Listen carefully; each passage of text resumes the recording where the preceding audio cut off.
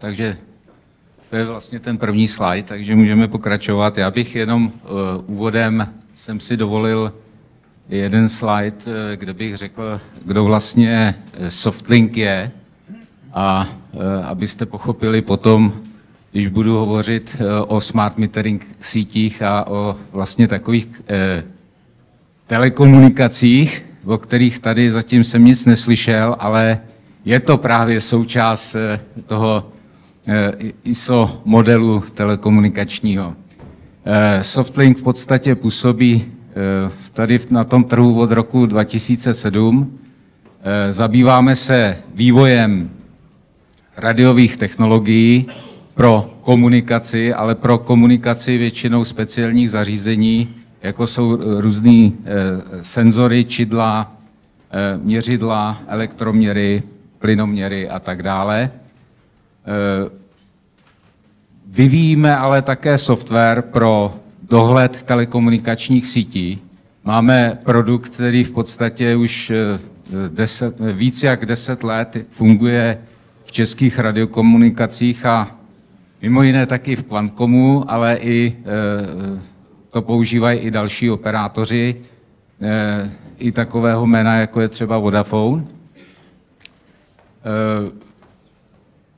podstatě zabýváme se vlastně, tak jak je tam naznačeno, eh, ne, nejen, že to vyvíjíme a e, provozujeme, taky vlastně vyrábíme, takže v současné době jsme vyrobili asi 100 tisíc těch zařízení, které někde komunikují po České republice, e, v Maďarsku a třeba i na Středním východě. Eh, vyvíjíme i software, který umožňuje těm zákazníkům vlastně zpracovávat ty data a pracovat s nimi.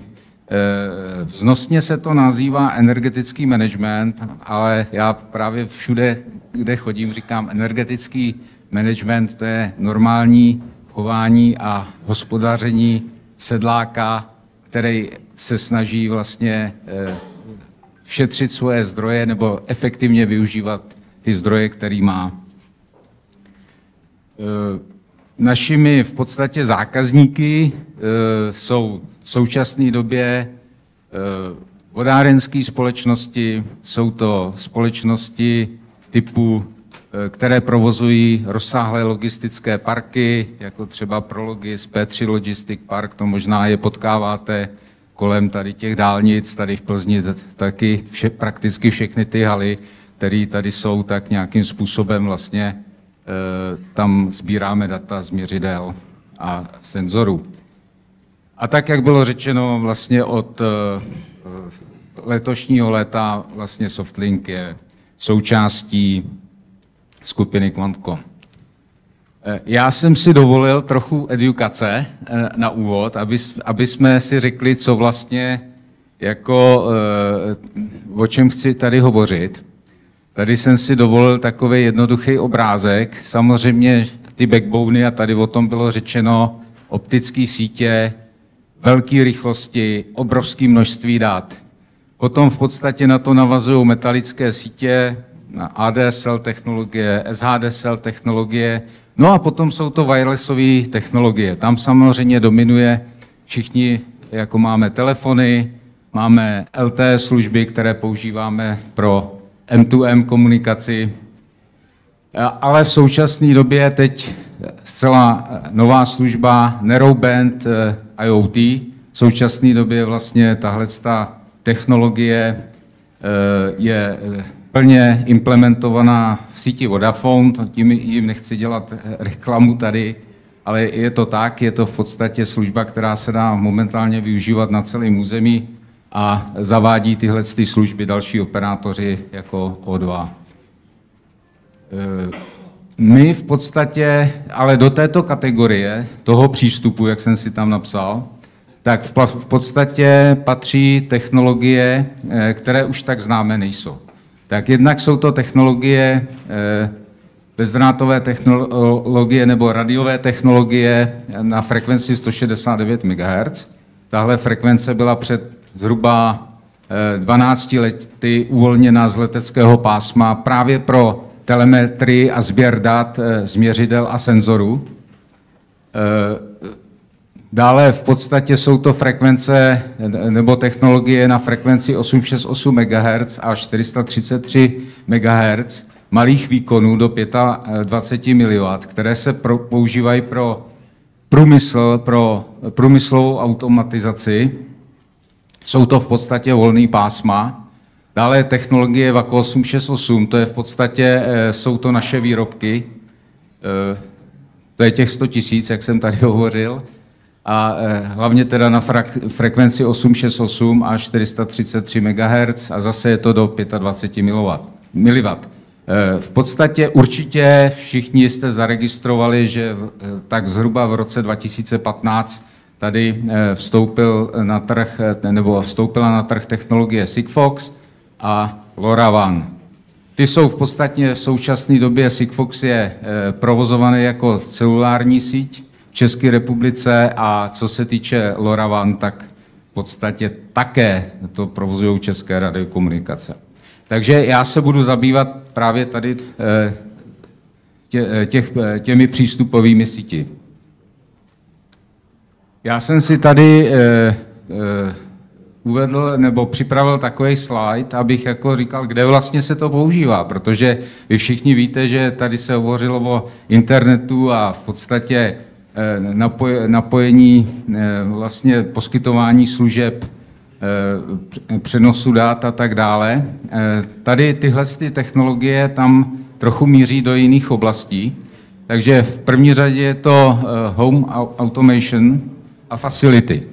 A tady v, v této oblasti já tam mám dole napsáno byty, domy, kancelářské ob, komplexy, obchodní centra. To jsou to jsou místa, kde máte stovky a někde dokonce i tisíce měřidel, ať už je, jsou to elektroměry, vodoměry, plynoměry a tak dále, které potřebujete zkomunikovat a potřebu, abyste mohli potom dělat třeba ten energetický management, o kterým jsem tam hovořil v úvodu, tak potřebujete, abyste ty data neměli jednou za měsíc, jako, jak je to běžně nebo bylo Eh, zvykem, nebo často je to zvykem, ale abyste mohli vůbec nějakým způsobem řídit tyhle ty objekty po stránce energetického managementu, tak potřebujete ty data s velkou četností.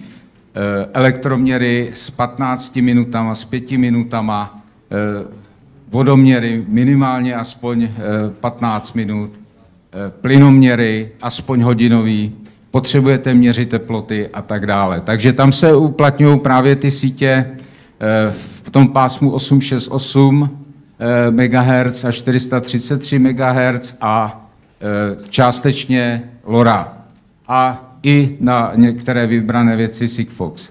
Pak máme oblast průmyslu a municipality, to, to jsou zase, když si vezmete municipalitu, tak e, takový běžný malý okresní město, nebo malý, ne, na naše poměry střední, jako jsou třeba Kralupy nad Vltavou, tak je 33 městských objektů, který spotřebují e, za rok před e, zdražením, před touhletou krizí, za 22 milionů e,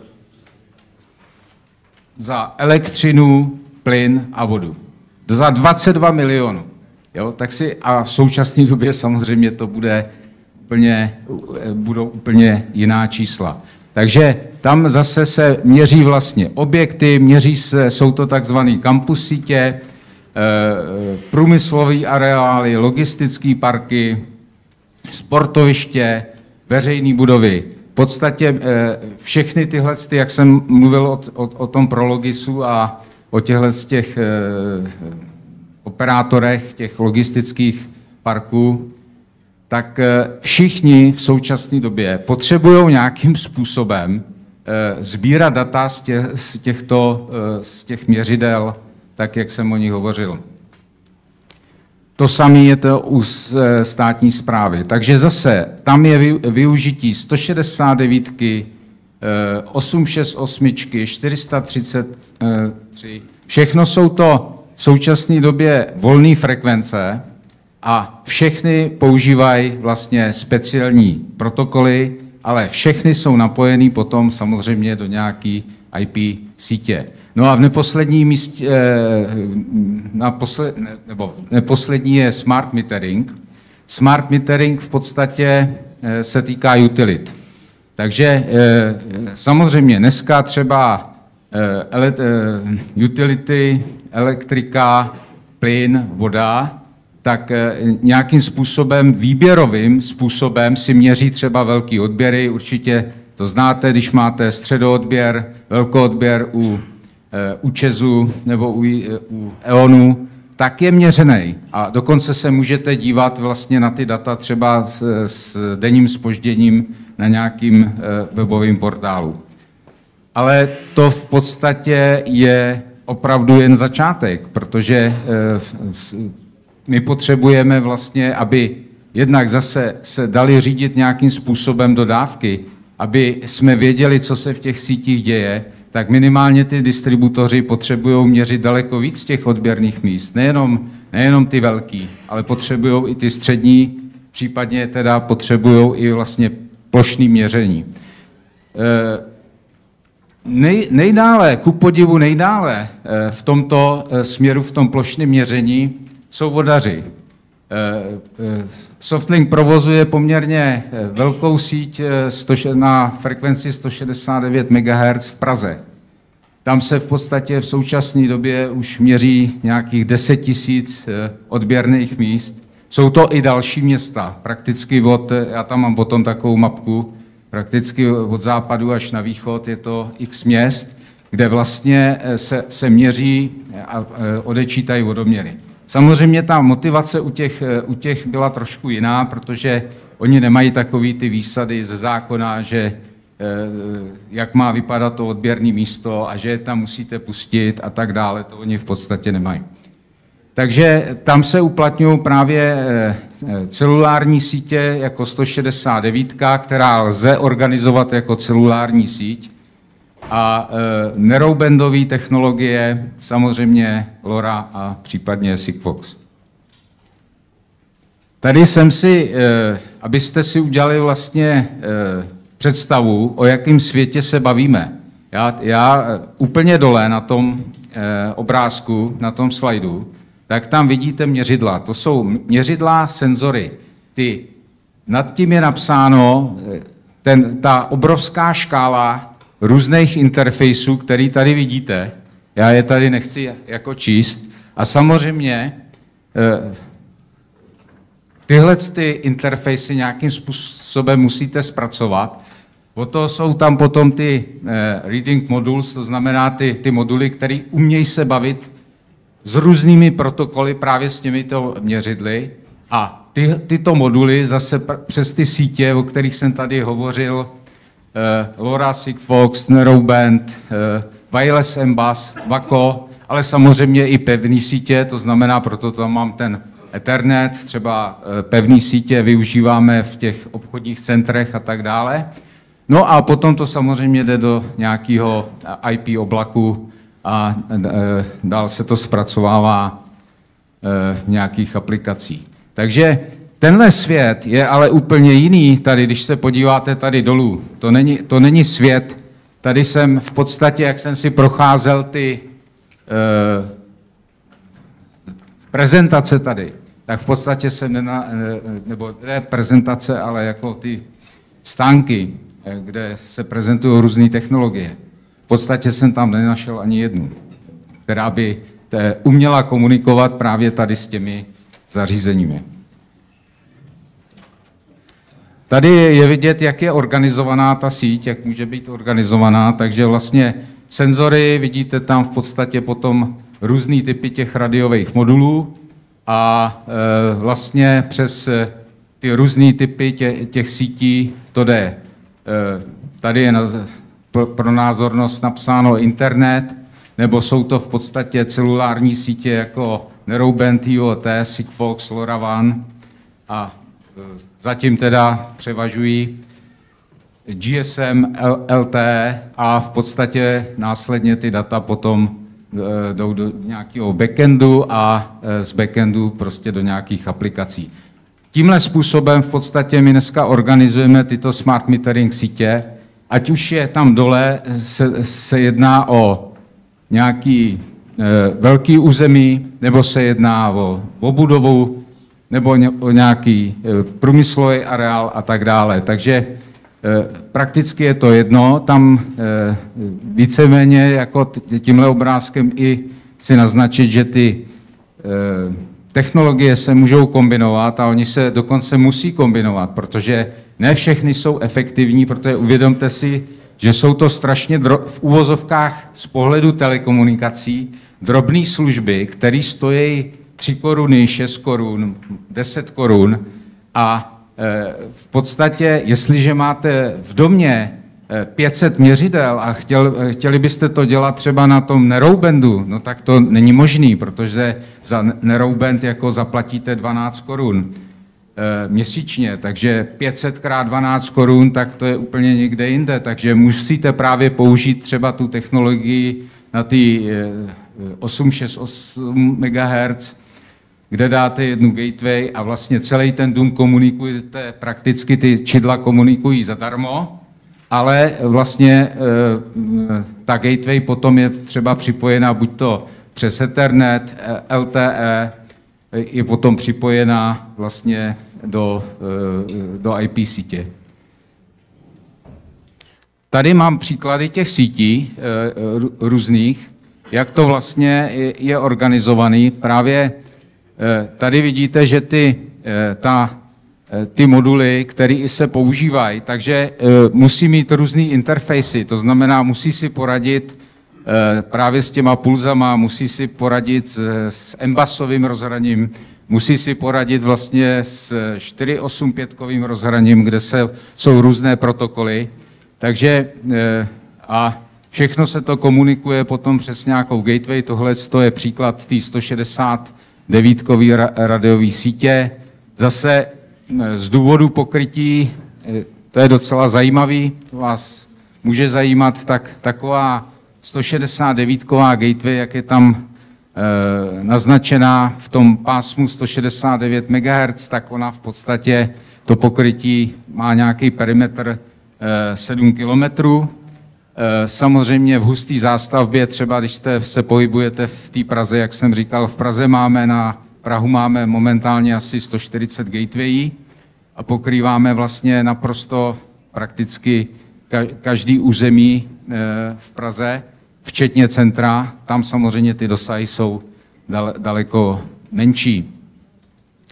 Tady je naznačeno vlastně celý ten systém, jak vypadá, že v podstatě eh, z té gateway je to nějakým způsobem přes LTE službu, případně i přes Wi-Fi, tam, tam používáme taky někde eh, Wi-Fi eh, komunikaci, tak to jde vlastně do backendu a potom z toho backendu to jde na různé aplikace. Tam je naznačená ta aplikace na SECM, ale ono to může právě, proto je to takhle udělané, aby vlastně ten backend zajišťoval eh, komunikaci na další další cíle a na další uživatele.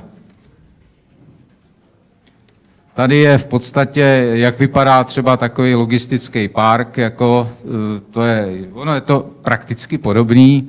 Tam je ještě v kombinaci, v kombinaci třeba s neroubendem, to znamená, my si dneska velice dobře, jestliže teda, eh, když už jsem mluvil o tom pokrytí, třeba ty 169, tak vlastně jsme schopni si pomoct právě takovými službami, jako je Rouben, který je vlastně to celulární služba, funguje na území celé republiky a velmi dobře v podstatě se dá eh, právě eh, použít na nějakou doplňkovou komunikaci, anebo taky v tom případě, a což je teď velmi častý, jak je v současné době se vyskytuje obrovská snaha těch různých společností, řetězců a tak dále, tak měřit si spotřebu prakticky ve všech dneska eh, svých nějakých pobočkách, ale ty pobočky jsou po celé republice, že? takže se nestaví 169 sítě, ale využívá se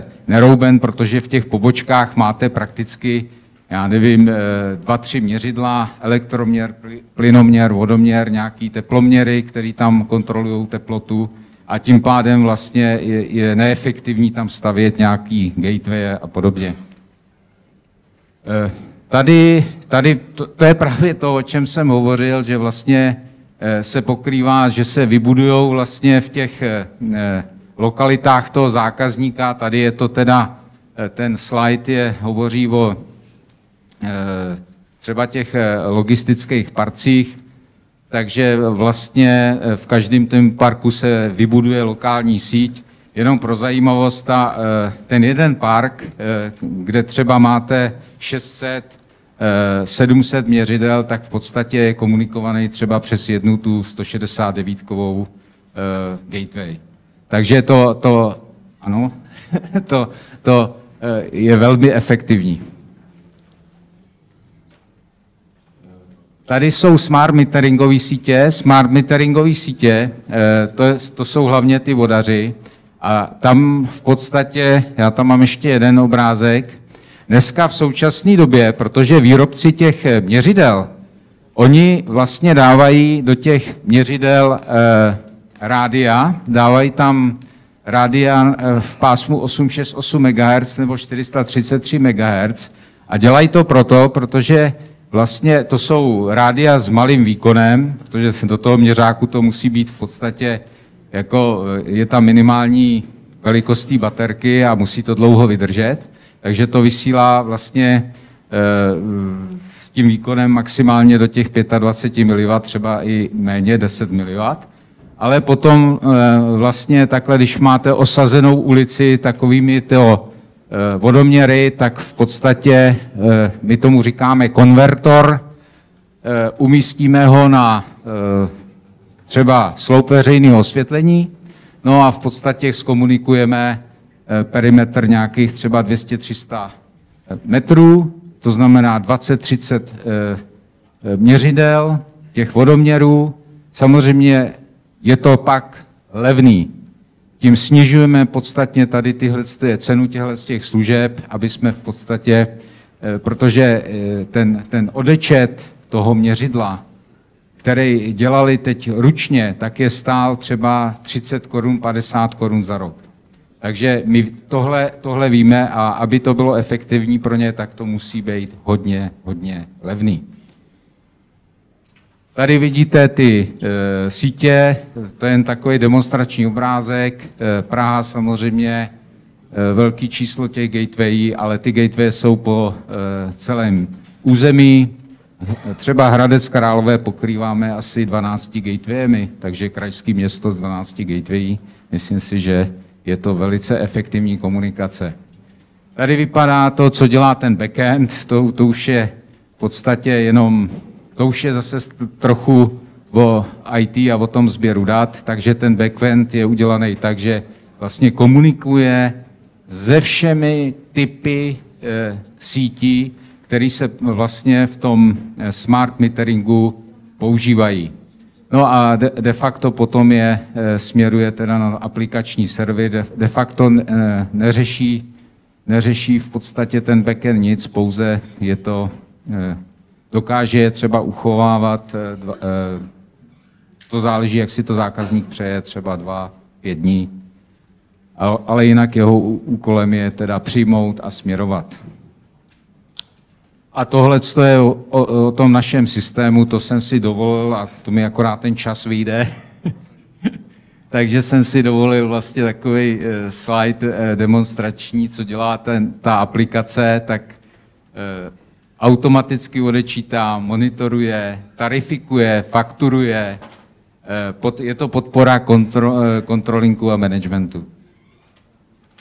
Ten sem zase může mít vlastně interfejsy vlastně na, na různé strany, tak jednak do toho můžou vstupovat data, data ze všech možných systémů, včetně samozřejmě z toho backendu a na druhé straně potom posílá ty data Samozřejmě to tady už bylo řečeno přes API, to posílá dál na různý zákaznický a účetní systémy. A já vám děkuji. Mám tam těch slajdů, tam mám ještě hodně, ale to jsem schválně teda tak omezil, protože to je by bylo asi na hodinu. Děkuji za pozornost.